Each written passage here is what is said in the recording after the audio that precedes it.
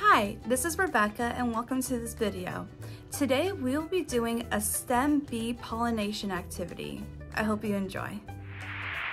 All right, so here's your items that you're gonna need for your STEM activity. Two yellow pom-poms. Mine has adhesive on them already. If yours don't, then you're gonna need some glue.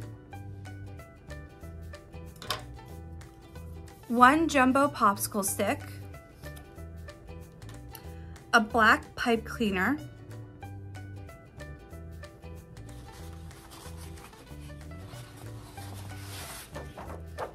two colors of construction paper of your choosing,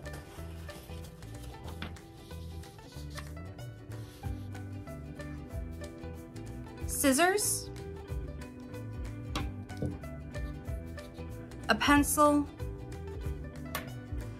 two small round containers. I have mason jar lids.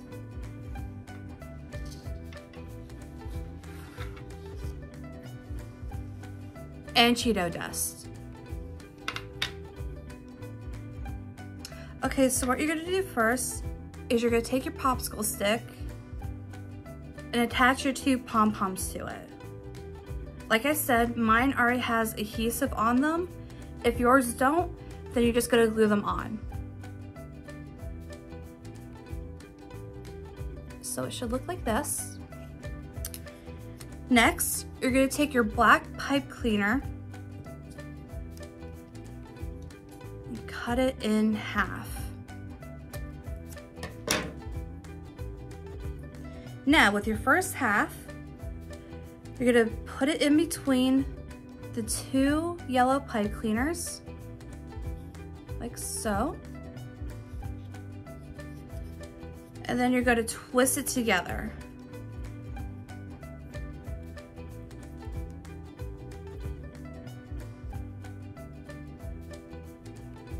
So it should look like that. Then with the second one, you're gonna put it in behind the last yellow pipe cleaner and twist again.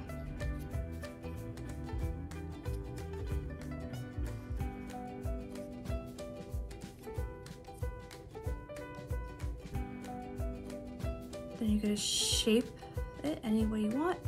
And there you go. Here is our bee.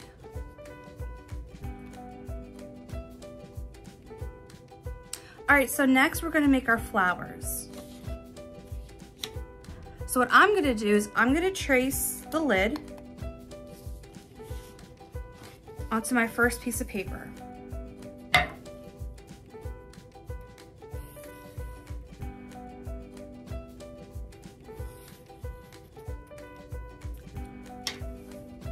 And now I'm gonna draw petals. You can make the petals any way you want.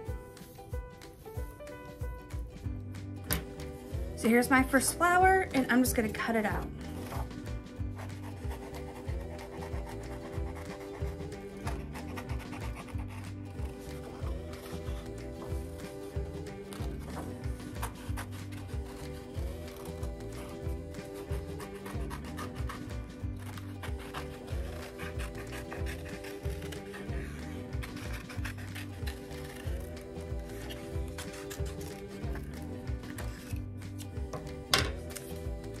So here's my first flower.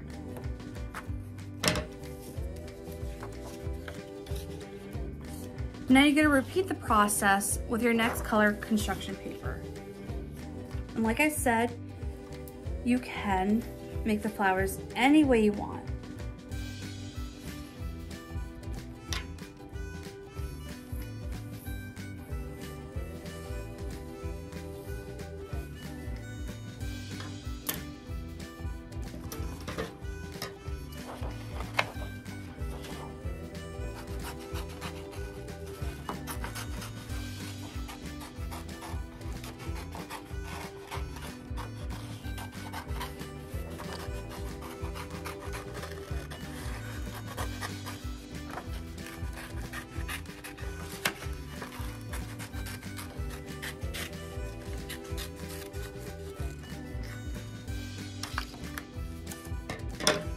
And here is my second flower.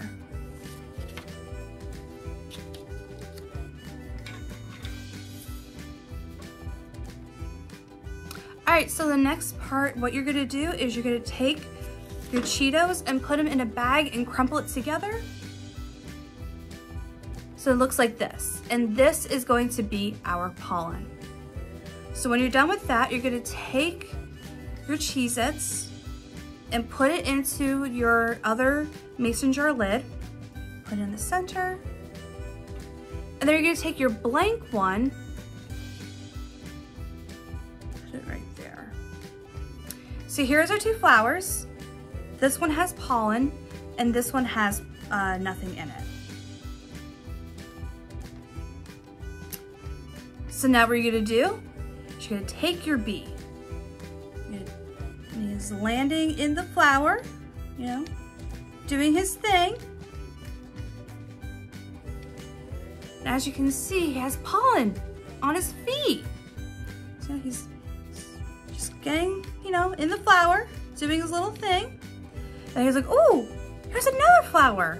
I'm gonna land on that one too. So he bzzz to the next one. Once again, does his little thing. And look, the pollen from the previous flower is in the new flower. You can kind of tell, right?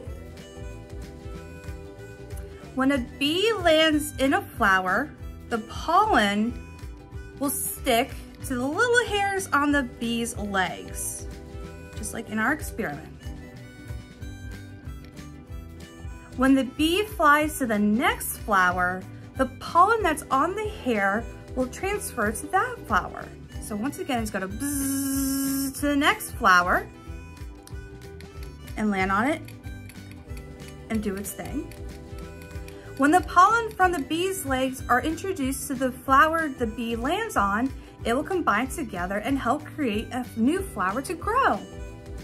And without this process, new plants and flowers will not be able to grow. That is how pollination works and how we have new plants and flowers. Without the bees' help, this process will never occur. I hope you enjoyed watching this video and please do not forget to look at our many other amazing videos on our YouTube channel. Thank you very much and thanks for watching. Have a great day.